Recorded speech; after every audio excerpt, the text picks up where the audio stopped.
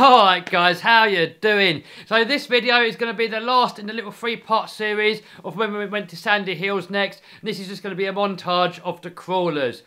Later on, after the montage, I want to have a little chat with you guys about some requests that I've been getting recently. And I want to sort of get your you guys' take on it and sort of you know, I want, I want, to see what you guys think before I sort of go ahead and I sort of do anything. So enjoy and watch the montage first.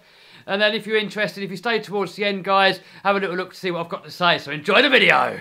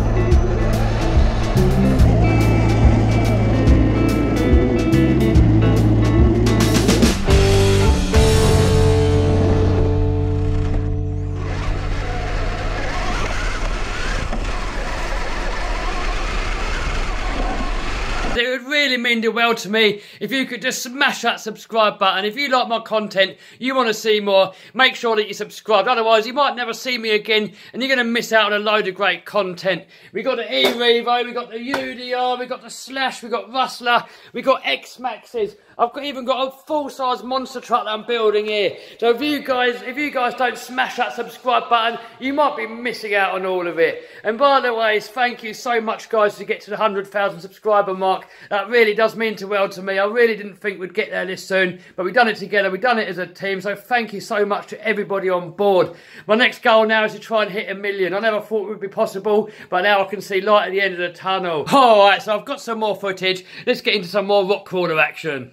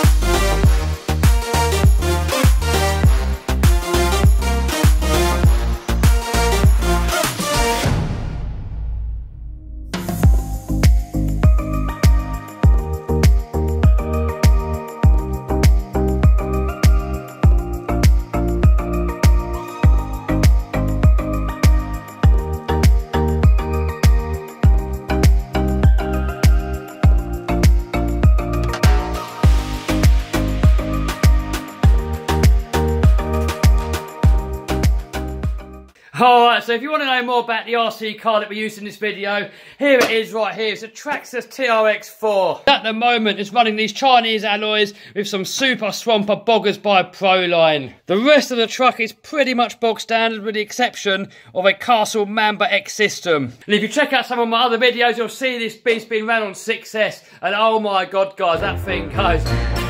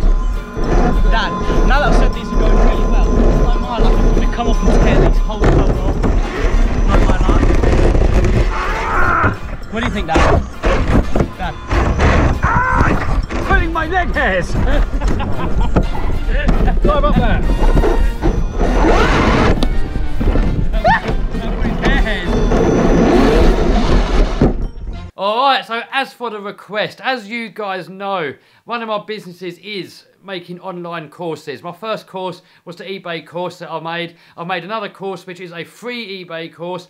At the moment, I'm working on a RC Basher survival guide, which is like another sort of RC course. And really put a ton of work into this. I've put over a month's worth of work into it already. It's still not finished. I'm, I'm keep putting more and more videos in there, more and more content. Uh, but one of the requests I've been getting quite a lot recently is, Kev, can you make a course about how to do YouTube? But I don't know if I should. The thing is, with the RC Basher course, I've been bashing since I was 10 years old. I'm 37 now, so 27 years I've been bashing. I've got a lot of friends in the industry I've had the model shop. I know a lot of guys from like suppliers and manufacturers and stuff. I've got a lot of friends that sort of in the hobby and been in the hobby for a very long time. So I kind of feel that if I make a course, I kind of sort of know a little bit what I'm talking about and I'm teaching you guys sort of real life experience, sort of 27 years of my experience and other people's experience that I can put into this course and I can put everything in there and I can sort of feel happy to sell the course knowing that you're going to get such an amazing value. And the same with eBay. You know, I've put thousands and thousands into learning eBay. I've made so many mistakes. I've been doing eBay for sort of four or five years now, and I've kind of built that up to a business now what sort of makes me over 100 grand a year. So I kind of feel that I sort of know a little bit about business and I know enough to sort of teach you guys what's required in sort of doing eBay and get you guys going to, to sort of make money. And that sort of sits good with me because, you know, what I'm talking about, I sort of feel like I do kind of know a thing or two when it comes to selling on eBay. But when it comes to YouTube, I'm at roughly 100,000 subscribers now, which is great. And I really, really appreciate every single one of you guys. That sort of means a lot. I never thought I'd get this far so quickly. I kind of had it as a goal to get to 100,000 subscribers by the end of this year. And I sort of got there halfway through the year. And I, really can't be any more grateful. But with that said, I, I still don't see 100,000 subscribers as being enough of a subscriber base for me to be able to sort of teach you guys and make a course around. You know, I, I don't feel like I sort of I'm in a position where I know enough to make a course yet. I mean, you guys I said, "Oh, make a course. Show, show us how you film. Show us how you make your videos. Show us how you edit. Show us how you know on the RC cars how you do it. Show us how you get more subscribers. You know, show us how you make your montages, all that stuff."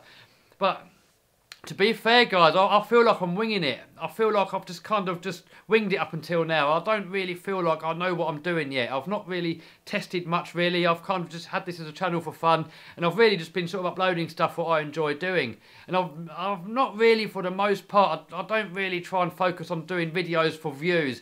I do video videos of stuff that I enjoy doing, and I enjoy editing them, and I kind of edit the video in a way that I enjoy watching them, and that's that's kind of worked sort of I don't know. It's, it's, it has kind of worked out, but it doesn't feel like I've done it through skill. It doesn't. It just feels like I've kind of winged it.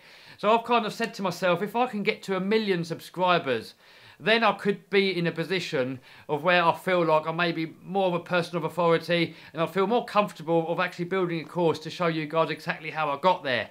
But to me, 100,000 subscribers, it still feels kind of very amateurish and it doesn't kind of sit right for me to make a course because it doesn't really feel like I really know what I'm talking about. And, and to make a course about it and to ask money from you guys and, and I'm teaching you something that I don't really know about really it, it doesn't it doesn't really seem fair. It doesn't doesn't seem legitimate. It doesn't sit right with me.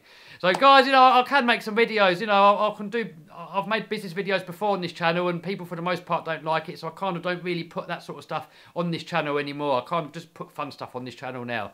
But I've made another channel, and if you look in the description, guys, I'm going to put a link to that channel. This is business channel. So if any of you guys are interested and you, and, and you want to take hear a bit of my advice of how I've grown my YouTube channel, you know, if enough people want it, then I'll make a few videos and but you know about making a course guys let me know in the comments what do you think? Shall I wait until I've got more experience and I really know what I'm talking about or shall I make something now and do it cheap? I don't know guys. I don't know. For me i am thinking I shouldn't really you know, that's, that's just what I feel. So I hope you like this video, guys. We're planning on going out again tomorrow. We're going to go to a local spring, so there's going to be lots of water for the crawlers. We're also planning to hit a couple of skate parks. I'm not sure what RC to take yet, so give me a note in the comments, guys, which RC you want me to take out there tomorrow. So I hope you like this video, guys. If you did, give us a thumbs up, subscribe, smash the bell button to stay notified. Give me a comment what you think about what we just talked about. Also, check out my business channel. See you soon, guys. Bye. Oh, by the way, someone said in one of my last videos, does the tactical unit body shell fit on a slash 4x4? So, let's have a look. I mean, uh, it, it goes on. The wheel arches seem to line up, not bad. I mean, you probably could lower it down more, but if you look up inside here, you've got the inner fenders or the wheel arches that kind of in the way. If you took them out, then you could probably get that to sit a little bit lower. I took that back wheel off, that'll sit a little bit lower and you'd have to probably fit some extended body posts and then it would probably work. So I hope that helps you out dude.